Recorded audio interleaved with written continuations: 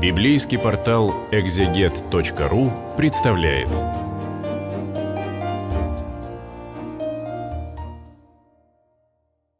Здравствуйте, друзья! На библейском портале «Экзегет» продолжаем читать книгу пророка Малахии. На очереди у нас третья глава книги.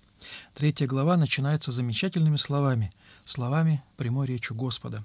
«Вот я посылаю ангела моего, и он приготовит путь предо мною, и внезапно придет в храм свой Господь, которого вы ищете, и ангел завета, которого вы желаете. Вот он идет, говорит Господь Саваоф. Ангел Господень, ангел завета, Малах. Малах на еврейском языке ангел, само имя автора книги тоже а, ангел Господень, Малах. И вот здесь говорится об ангелах. А, то, что сказано в первом стихе этой третьей главы, будет развиваться в заключительной четвертой главе книги, и а, к этой теме мы еще вернемся. И в, в той самой четвертой главе этот самый ангел завета будет отождествляться с пророком Божьим Ильей. Слова эти, слова об ангеле третьей главы, будут осмыслены новозаветными писателями священными, новозаветными авторами, как мессианское пророчество. И будут они прилагаться к Иоанну Крестителю, предтече Христову. И кто выдержит день пришествия его, и кто устоит, когда он явится? Ибо он, как огонь расплавляющий и как щелок очищающий. Эсхатологическая тема начинает звучать в книге. Тема а, божественного вмешательства в историю, тема а, суд, судного дня, тема а, конца времен. «И сядет», сказано в третьей стихе, Господь, «сядет переплавлять и очищать серебро, и очистит сынов Левия, и переплавит их, как золото и как серебро, чтобы приносили жертву Господу в правде. Продолжает звучать тема а, первых двух глав, тема а, священства, тема а, храма, тема жертвоприношений. Жертвы должны быть чистыми, и только чистые сыны Левия могут приносить эту жертву, чистую жертву Господу. Если же сыны Левия – сами духовно нечисты, да, пусть они ритуально совершенно чисты, но если они лукавы, духовно нечисты и лицеприятны, а, в таком случае они сами подвергнутся очищению, и Господь переплавит и очень суровым способом, как а, металлург переплавляет серебро, очищая его тем самым от примесей. И он будет как огонь, сам Господь, расплавляющий и как щелок очищающий. Тогда благоприятно будет Господу жертва Иуды и Иерусалима, как в одни древние и как в лета прежние. Жертва, приносимая людьми духовными, людьми чистыми, она Богу угодна и приятна. Вспомним жертвы, которые приносил Авраам, которые приносил Иаков. Они всегда принимались Богом. Они были от всего сердца, и лучшее из скота приносили а, патриархи, а, правоцы израильского народа вот, к сожалению, моральное, духовное состояние а, потомков Левия, священников, современников автора этих слов, оно не было столь высоким, каким было у Авраама и Иакова. «И приду к вам для суда», — говорит Господь. Здесь имеется в виду, конечно же, суд эсхатологический, суд в конце времен. «И скоро», и приду к вам для суда, и буду скорым обличителем чародеев и прелюбодеев, и тех, которые клянутся ложно и удерживают плату у наемника, притесняя вдову и сироту, и отталкивают пришельца. И меня не боятся, говорит Господь Саваоф. Пятый стих очень содержательный. А здесь говорится о божественном суде над всеми нечестивыми а в народе Господнем, вообще над всеми. И Господь обличит в своем народе те, кто занимается чародейством, что запрещено, занимается колдовством, занимается ворожбой, нарушая тем самым прямую и ясную совершенно заповедь Божьего закона. А, и с чародеями наряду идут прелюбодеи. прелюбодеи. А, здесь, видимо, следует понимать в прямом смысле, не в переносном, прелюбодеянием духовным называется у пророков идолопоклонство, но здесь, скорее всего, речь идет о прелюбодеев в прямом смысле этого слова, тех, которые, а те, которые изменяют своим женам и занимаются а, прелюбодеянием, прелюбодейством. И другая группа людей – это те, которые клянутся ложно, а клясться они клялись именем Божьим. Они это имя употребляют для ложных клятв. Как можно святое божественное имя употреблять для того, чтобы клясться во лжи? Господь не оставит без наказания того, кто не просто имя здесь в суе произносит, а употребляют совершенно нечестивых целей для того, чтобы этим именем клясться, обманывая других людей в чем-то, э, клясться в какой-то лжи. И удерживают, дальше наемники. Наемника плату удерживать нельзя. Если наемник, паденщик, э, работал у тебя целый день среди твоих стад или в твоих садах и полях, ты должен в конце этого рабочего дня заплатить ему а, плату, плату паденщика. Вспомним притчу о притчу евангельскую о этих самых наемниках, нанятых в разные времена дня, в разные часы, и которые получили в конце дня плату. А, так вот, плату наемника удерживать – это величайшее преступление. К сожалению, это преступление встречается среди христиан и сегодня. Долгие годы мне приходилось служить в странах Южной Европы – в Италии, Испании, Португалии, и э, неоднократно приходилось слышать жалобы наших прихожан, гастарбайтеров, на то, что их работодатели, испанцы, португальцы, удерживают у них плату. Они договариваются с ними, не подписывая никаких трудовых договоров, полагаясь на слово, на честное христианское слово работодателя. А в конце это слово оказывается ложным. И или у них удерживается плата, или выплачивается часть платы, и э, в результате происходят даже конфликты, и некоторые, э, те, кто не могут себя сдержать, и обида, и горечь э, переполняют их, они нападают на своих работодателей и э, даже бьют их, э, или угрожают, по крайней мере, побить. И за это подвергаются суду и попадают в тюрьмы. И в этих тюрьмах мы их там навещаем.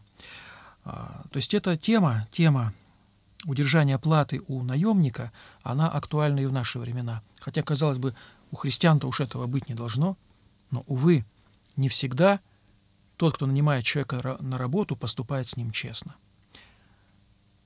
Удерживать плату – это значит воровать у человека его труд, воровать то, что честно им заработано. Вот на, на, какую, на какие деньги ты договорился с ним, как, а, пусть это даже устная сделка – а, трудовая сделка, пусть это даже устный договор, ты должен наемнику выплатить все до копейки. А если он хорошо и честно работал, то я думаю, он достоин еще и премии с твоей стороны. Ну вот среди тех, у кого, среди того общества, которое должно было жить и функционировать по заповедям закона Божия, закона Моисеева, увы, сплошь и рядом были нарушения этих самых заповедей, в том числе заповеди о плате наемнику. Далее перечисляются три группы социально незащищенных э, лиц.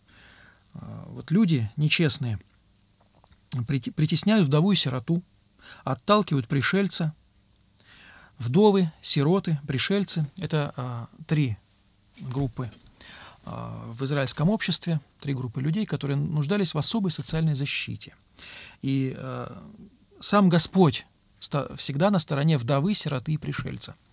И э, Господь будет судьей вдов, отцом сирот и защитником пришельцев. Говорится и в книге псалмов, псалмов и э, в законодательных текстах Священного Писания, и у пророков. Сам Господь вступается за вдов, сирот и пришельцев, и их защищает. И вот когда и вот когда израильтянин, а, богатый, который может нанять наемников для своих стад, садов и огородов, он а, притесняет людей социально незащищенных, тем, кому как раз помогать надо, оставлять даже колосья на поле, чтобы они а, питались, не, не дожинать до конца края, край поля, и в садах оставлять не всю, не всю не, не все плодовые деревни до конца обтряхивать. Вот вместо этого он, наоборот, притесняет, очень легко притеснить сироту, вдову и пришельца. Они не защищены, у них а, очень низкий социальный статус, у них нет никакой социальной опоры, они э, на краю человеческого общества, они а, маргиналы, они маргинализированы этим обществом. И вот когда человек так поступает, социально защищенный, креп, с крепким хозяйством, а, у которого связи и вес в обществе, когда он так поступает по отношению к, к социально незащищенным членам общества, то это значит, что он не боится Бога. Так и заканчивается этот пятый стих. «Меня не боятся такие люди», — говорит Господь Саваоф. «Ибо я Господь, я не изменяюсь, посему вы, сыны Израилевы, не уничтожитесь». Начинается а, другая тема, другое пророчество, начинается с шестого стиха. «Не уничтожатся сыны Израилевы, остаток спасется». Тема эта новозаветная и в Новом Завете будет развиваться. Э, со дней отцов ваших вы отступили от уставов моих и не соблюдаете их. Обратитесь ко мне, и я обращусь к вам, говорит Господь Саваоф. Интересно. Э, сначала в шестом стихе мы читали, что э, пророчество такое ободряющее. Вы не уничтожите сына Израиля. А с седьмого вновь продолжается тема предыдущих пророчеств, где звучит суровая критика, суровое обличение в адрес а, современников э, автора этого текста, которые со дней отцов своих отступили от уставов а, моих. Действительно, уже в древние времена, во времена Моисея, заповеди, которые народ получал через своего а, вождя и пророка, они их не хранили, они их нарушали. Многократно причем нарушали. И не раз мы читаем повествование об этих нарушениях в книге чисел, в книге второзакония, обличительной речи и так далее. «Обратитесь ко мне, говорит Господь, и я обращусь к вам». Вот это обратиться, это возвратиться к Богу, это совершить возвращение к Нему, обращение, то, что называется в русском языке покаяние, очень важная пророческая тема.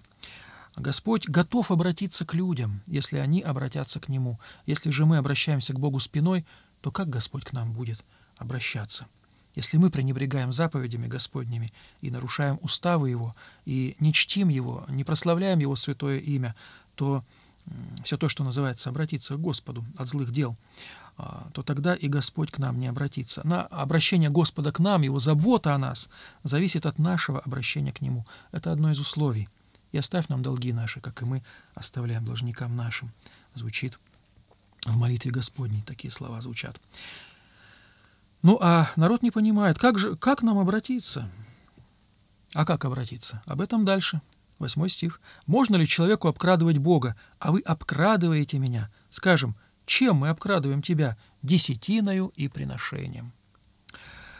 Строго заповедано было десятины, десятую часть своего имения, десятую часть всего, что ты заработал, десятую часть твоего дохода отдавать Господу. Она тебе не принадлежит. Человек, который присваивает десятину, не отдает ее а, в дом Господень, не отдает ее священникам, служителям Господним, он тем самым обкрадывает, обкрадывает не людей, а обкрадывает Бога. Десятина, приношение, очень важные статьи а, Моисеева закона. «Проклятием вы прокляты, потому что вы весь народ обкрадываете меня». Не только священники, но и весь народ обкрадывают Бога. И как же а, эту ситуацию исправить? Звучит инструкция, 10 стих. «Принесите все десятины в дом хранилища». Дом хранилища во дворе храма Господня, где хранились десятины. Не обязательно это были деньги, это могли быть э, зерновые, могли, могло быть оливковое масло и животные, наконец, чтобы в доме моем была пища. И хотя в этом испытайте меня, говорит Господь Саваоф, не открою ли я для вас отверстий небесных и не залью ли на вас благословения до избытка. Опыт церковно-приходской жизни показывает, что там, где а, в церковной общине все даром, все бесплатно, а, те общины твердо стоят экономически на ногах – и не нуждаются ни в каком э, внешнем финансировании. Э, народ откликается, и действительно хранилища церковные, они переполняются. И если хотя бы в этой, да пусть этот приход даже маленький, пусть в нем всего 10 семей, но если э, все будет даром, а вместо того, чтобы Э, процветало то, что не должно процветать во дворе а, церковной общины, то есть торговля, если вместо этого всего а, народ будет делать так, как здесь сказано у Малахии, то есть а, десятины свои отдавать а, в Дом Господень и на содержание общин, храма, общины, священников, диаконов, то тогда Господь откроет окна на небе и зальет благодеяние на эти семьи до избытка. И это действительно проверено опытом, в частности, опытом церковно-приходского строительства в некоторых странах Европы, где все даром, все бесплатно, и эти приходы удивительно стремительно и быстро и мощно развиваются и возрастают, и не только духовно, но и материально. Вот такие вот э, слова очень важные, я считаю, и актуальные и для нас, служителей Нового Завета. И слово, слово Господне не может устареть, оно не может обветшать. И те же самые заповеди Господни, те же самые правила, они э, действуют, может быть, еще э, более даже а, ясно они звучат сегодня для нас и а, более являются свежими, даже несмотря на то, что они э, уже не первое столетие и не первое тысячелетие, как представлены человеку и как заповеданы они. «Я для вас запрещу пожирающим истреблять у вас плоды земные, и виноградная лоза на поле у вас не лишится плодов своих, говорит Господь Саваоф». Получил ты, студент, а, стипендию 40 рублей. 4 рубля не твои, это десятина. Выкопал ты 10 ведер картошки, одно ведро тащи в церковь. И тогда Господь благословит и поле твое картофельное. Или тогда вот в древности у Израиля, что там, виноградники, плоды земные, поля. И блаженными называть будут вас все народы, потому что вы будете землей вожделенную, говорит Господь Саваоф. Земля Израиля, земля Господня, Эрец Израиль, она а, земля вожделенная, зем, земля, а, которую вожделели сыны Израиля. И все народы будут называть вас блаженными. Здесь а, обращается пророк к израильтянам, к своим соотечественникам. Если они будут хранить заповедь Господню и все заповеди божественного закона, и ходить пред Богом, и в обществе будет социальная справедливость, и богослужение будет совершаться как положено, и народ будет бояться Господа, тогда Господь благословит свой народ и, и зальет ему благодеяние и благословение до избытка на этот народ. «Дерзостны предо мною слова ваши, — говорит Господь. Вы скажете, что мы говорим против тебя?» Вот постоянное непонимание звучит со стороны израильского народа. А что это мы нарушаем? А что мы делаем неправильно? Все вроде бы формально по букве закона — все вроде бы соответствует служению, но не, не только букву закона надо соблюдать, но и дух закона. Нужно позволить духу закона действовать в, в обществе. Вы говорите, далее пророк цитирует израильтян, тщетно служение Богу, и что пользы, что мы соблюдали постановление Его и ходили в печальной одежде при лицом Господа Саваофа. тем же, чем заканчивалась вторая глава. Здесь, в конце третьей главы, звучит то же самое. А, израильтяне говорят, что служить Богу тщетно, пользы особой нет, и что, что за польза соблюдать его постановления. И посты там соблюдать, в печальной одежде ходить. И ныне мы считаем надменных счастливыми – лучше устраивают себя, делающие беззакония, и хотя искушают Бога, но остаются целы. Посмотрите вокруг, говорят израильтяне. А, наглость второе счастье, надмение, и человек наглый, который по головам а, своих окружающих лезет к успеху, лезет к своему достатку и накопляет имение, притесняя вдову, сироту, пришельца, наемнику удерживает плату. Вот такие люди, они, ну, используя популярное слово, жируют в этом мире – жируют, э, тогда как другой народ терпит бедствие. Они угнетают их, часто завлекая в ипотечную кабалу. Вот. Э, человек попадает в эти, в эти тенета ипотечной кабалы, и может когда-то, как говорится в одной современной тоже популярной песенке, через 48 лет э, погасит свой кредит, погасит свою ипотеку, выплатит ее. Вот. И сегодня, и тогда это все было очень актуально. Они не боятся Бога, такие люди, говорит пророк. Но есть те, кто Бога боятся, те, кто трепещут пред Словом Его. О них говорится в следующих словах. Но боящиеся Бога говорят друг другу, внимает Господь и слышит это, и пред лицом Его пишется памятная книга о боящихся Господа и чтущих имя Его. Чтить Бо Господа и имя, имя Господне – это не значит, что постоянно его повторять. К месту, не к месту, клясться тем более ложно, произносить имя его в суе. А это чтить имя Господне – это значит а, исполнять его заповеди, а, освящать это самое имя своими делами, исполнением заповеди Господним. Молитва может быть краткой, но должна быть искренней от всего сердца, и служение Богу должно быть также э, искренним и праведным. Не, должно, не, должно, не должно приносить Богу нечистых жертв. Бог такие жертвы не примет. И вот эти самые боящиеся Господа, здесь сказано, будут моими, говорит Господь Саваоф, собственностью моей в тот день, который я соделаю, и буду миловать их, как милует человек сына своего, служащего ему. Господь, который был назван чуть выше отцом, он а, заботится о своем народе, как о детях своих. И если какие-то наказания и даются, то лишь для исправления этих детей. И даже суровые порой наказания, такие, каким был, например, Вавилонский плен, все это нужно было для того, чтобы народ исправился. Израиль назван сыном Господним. Из Израиля вызвал я сына моего, говорит пророк Осия. А, это метафора, отец и сын, она чрезвычайно важна для понимания отношений человека с Богом. Верующие, служащие Богу – это сыны Господни, сыны Божьи. И тогда снова увидите различие между праведником и нечестивым, между служащим Богу и неслужащим Ему. Сейчас праведник может несправедливо страдать в этом мире. Теме страдания праведника посвящена, например, целиком книга, э, книга Иова. А, почему совершаются беззакония в этом мире, и почему жирует и благоденствует нечестивец. Об этом говорят многие псалмы, говорят, говорит также такая книга, как книга пророка Вакума, некоторые другие тексты. Но в конце концов наступит божественная справедливость. Будет божественный суд, который, как сказал поэт, не подкупен звону злата. И вот тогда очевидный станет между праведником и нечестивым. Праведник будет благословлен и облагодетельствован, а нечестивец будет наказан. Тот, кто служит Богу, Господь его приблизит и возвысит, и еще более осветит, а не служащий ему будет отвергнут им, в том числе священники, о которых сказано было во второй главе, что помет жертвенных животных Господь раскидает по их лицам, а самих их отбросит от служения себе вместе с этим пометом.